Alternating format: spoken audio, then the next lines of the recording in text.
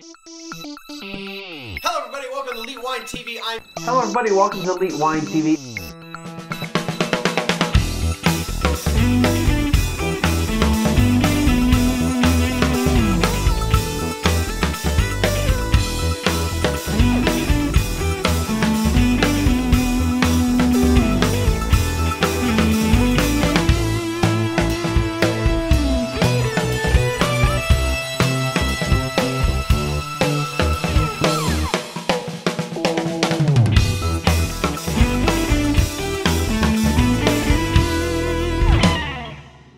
Everybody. Welcome to Elite Wine TV. I'm your host, Mark Fusco, here for another episode of the show, part three of the Finca del Origen series. Uh, I had to take a little quick break, not that you noticed. I had to take a little quick break here because, uh, well, the lights went out. As you saw in the last episode, that light over there went out, uh, just like, uh, the other two batteries and the lights were kind of uh, uh, running a little low. Um, I went from having double A batteries that every session I had to replace, those 18 batteries at a time, getting expensive, to uh, getting a camera battery, so camcorder batteries, and um, so they're rechargeable, and uh, they've been fully charged. And then I put them in, and what do you know? It uh, one of the batteries ran out, but I've had these things on for quite a while, so um, I actually just bought six more, so I have plenty uh, to mess with. All right, so uh, real quick, let me take this real, so I know where I'm at. Boom, get that head. Okay, so let's get started. Uh, let's get right into the next wine. All right, this is the 2010 Finca El Origen Reserva Malbec. This is also from the Valle de Uco uh, in Mendoza, Argentina. Um, most likely it's a 100% Malbec. About to find out right now. Oh, it's not. All right.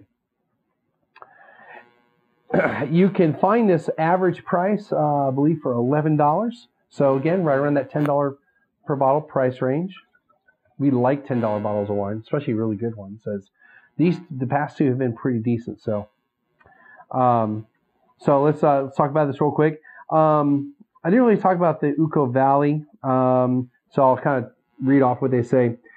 Um, the, these are the La Esperanza vineyards at the foot of the Andes Mountains, uh, 1,200 meters above sea level, so it's around 3,600 feet or so. Um, and it's a sub-appellation of one of the most promising wine regions within the province of Mendoza. Um, we don't really talk about al- haven't talked about altitude in a while because well haven't really been talking about South American wines, but uh, altitude is something that allows um, uh, allows the cooling, you know, the, the heating the cooling of the day, uh, allows uh, for um, uh, the building of acids and the su- how the acids and the sugars work out. Uh, the higher you are, if I remember this correctly, the higher you are, the better acid I believe you can obtain from your grapes. Uh, it just really kind of depends on the climate too. I mean, you know, you're not going to be growing grapes up in Colorado mountains necessarily at 10,000 feet. Okay. But, um, uh, you know, in the Rockies, but in the Andes, it's, uh, how, how the, how the climate is. Um, it, it's really good for wine making. And, um, you have like the, uh, what will happen is you'll have more sunlight a lot of times because in the valley you'll have all the fog going on, which depending on the type of wine you're making, that's what you want. Like, uh, like a lot of the Napa Valley and Sonoma County um, type of wines, uh, they'll have the valley wines, the floor wines, and, and with the the fog, the types of grapes are growing there. They want the fog, but then the higher up they go on the mountains, they are on the hills. Um, there's no fog, so it's much better for them. Anyway, so another reason to do that. All right, so um, let's get right into the Malbec. Oh, by the way, it is a 93% Malbec, this this vintage, 7% Syrah, and it's aged for six months in French oak.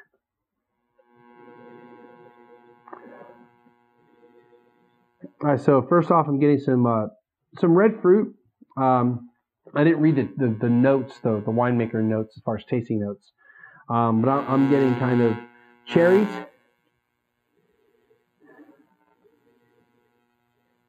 And that's mostly what I'm getting as far as the fruits go, uh, concerned. Getting some spices out of it.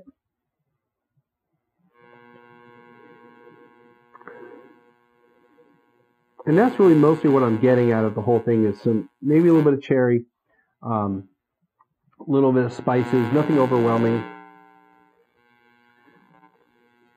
Maybe a bit of like like uh, earthiness, minerality.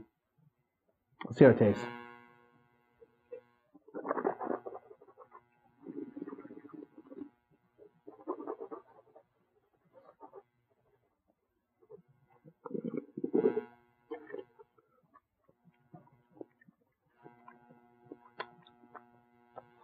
All right, so fairly full body. The tannins, um, uh, high tannins, um, moderate to mod, um, medium high to high tannins. I mean, really coating the mouth.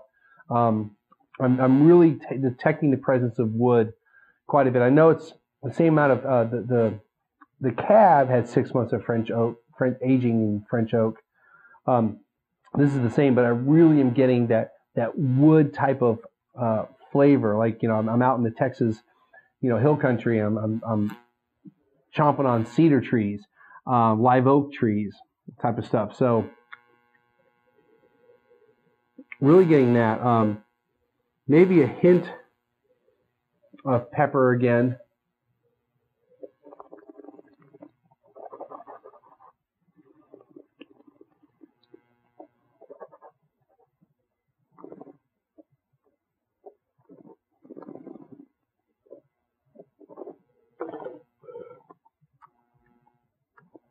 Getting some pepper spices, uh, peppers, and then you know, spice pepper. Um, and it's calmed down a little bit now.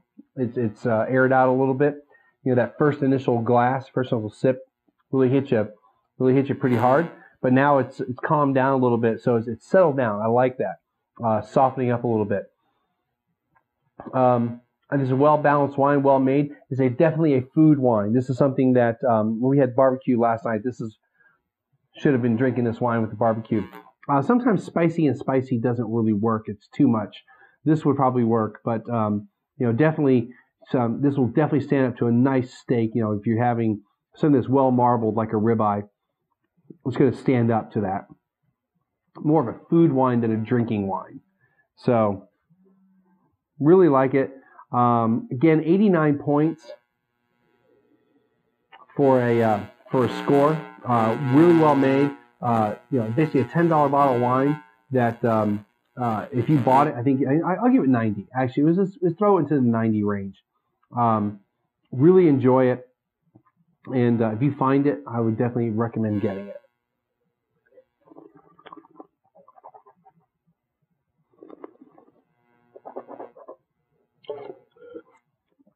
Another reason why I moved it up to the 90 point range this is a wine that's going to open up. It's going to develop even, I think, more over time than say the the Cabernet Sauvignon, which it will develop. I bet you if I drink a little bit right now, because it's been sitting in the bottle for a good hour, I guess.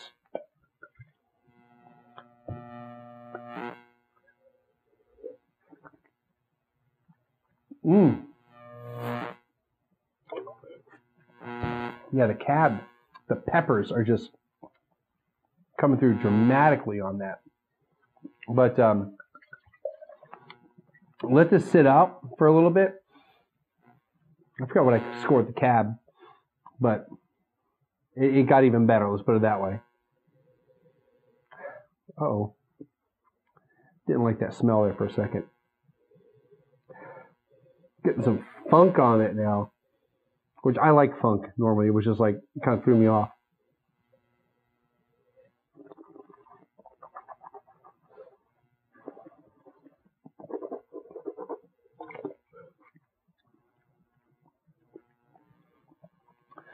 All the flavors are really going are, are complement each other, and uh, like it started off with kind of soft, softer, not soft, softer, fruity, and then it started getting to the wood aspect. Now we're getting to the more the, the spices. Definitely, ninety points, eleven bucks or so. If you can find it, buy it, and uh, that's it. Click the link below for for the uh, website. Click above to friend me up. Hit the donate button and uh, that's going to do it. We'll see everyone again next time.